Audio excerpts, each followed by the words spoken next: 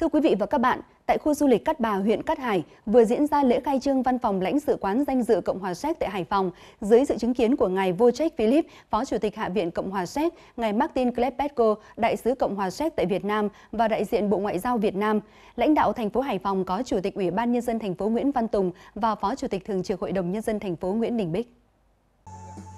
Việt Nam và Cộng hòa Séc thiết lập quan hệ ngoại giao từ năm 1950, sau gần 70 năm vun đắp và xây dựng – Đến nay, mối quan hệ hợp tác hữu nghị giữa hai nước ngày càng bền chặt. Cộng hòa Séc đã mở văn phòng lãnh sự quán tại Hải Phòng từ rất sớm và duy trì đến năm 2011. Trước nhu cầu phát triển và hợp tác giữa hai bên, Bộ Ngoại giao hai nước Cộng hòa Séc và Việt Nam đã đồng ý mở lại văn phòng lãnh sự quán tại Hải Phòng. Văn phòng lãnh sự quán được đặt tại Cát Bà và ông Phạm Trường là lãnh sự danh dự tại Hải Phòng. Bộ Ngoại giao Cộng hòa Séc sẽ sớm mở thêm văn phòng lãnh sự quán nước này tại Hải Phòng. Phó Chủ tịch Hạ viện Cộng hòa Séc khẳng định, việc khai trương lãnh sự quán Cộng hòa Séc tại Hải Phòng là sự kiện có ý nghĩa quan trọng, đánh dấu bước phát triển tốt đẹp mối quan hệ giữa Cộng hòa Séc và Việt Nam, là một trong 170 văn phòng lãnh sự quán của Cộng hòa Séc trên thế giới. Văn phòng lãnh sự quán tại Cát Bà sẽ là cầu nối tăng cường hợp tác, trao đổi thương mại và xúc tiến đầu tư giữa Hải Phòng, Việt Nam và Cộng hòa Séc, giúp công dân Cộng hòa Séc tới Hải Phòng được thuận lợi hơn và góp phần thúc đẩy hợp tác đầu tư của các doanh nghiệp Séc tại thành phố Cảng,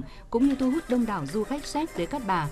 Chúc mừng lễ khai trương văn phòng lãnh sự quán Cộng hòa Séc tại Cát Bà, Chủ tịch Ủy ban nhân dân thành phố Hải Phòng Nguyễn Văn Tùng nhấn mạnh, sự kiện đã góp phần củng cố mối quan hệ truyền thống hữu nghị giữa Việt Nam và Cộng hòa Séc, là một trong những địa phương của Việt Nam vinh dự được nước tiệp khắc trước kia, Cộng hòa Séc ngày nay viện trợ xây dựng hai công trình, Cung văn hóa lao động hữu nghị Việt Tiệp và Bệnh viện hữu nghị Việt Tiệp. Đến nay, hai công trình luôn hoạt động hiệu quả và là minh chứng cho sự hợp tác hữu nghị giữa Hải Phòng và Cộng hòa Séc. Chủ tịch Ủy ban nhân dân thành phố khẳng định, văn phòng lãnh sự quán danh dự Cộng hòa Séc được đặt tại Cát Bà, nơi được UNESCO công nhận là khu dự trữ sinh quyền thế giới, danh lam thắng cảnh quốc gia đặc biệt, trọng điểm du lịch quốc gia và quốc tế, đã cho thấy phía Séc đánh giá đúng tiềm năng thế mạnh và sự phát triển của Cát Bà đồng chí mong muốn thời gian tới, Hải Phòng và Cộng hòa Séc tiếp tục hợp tác phát triển, hai bên xúc tiến mở đường bay quốc tế từ Cát Bi tới Cộng hòa Séc, kêu gọi các doanh nghiệp Séc đầu tư vào Hải Phòng trong lĩnh vực công nghiệp chế tạo ô tô, năng lượng thành phố Hải Phòng luôn tạo điều kiện thuận lợi để lãnh sự quán danh dự Cộng hòa Séc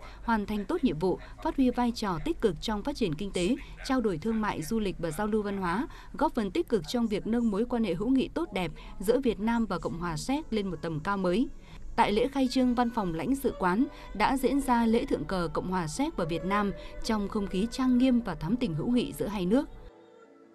Nhân dịp này, công ty cổ phần Trường Bình Minh ký kết hợp đồng xây dựng khách sạn 5 sao quốc tế M Gallery Cát Bà với tập đoàn Accor Hotels, tập đoàn quản lý khách sạn hàng đầu thế giới của Pháp.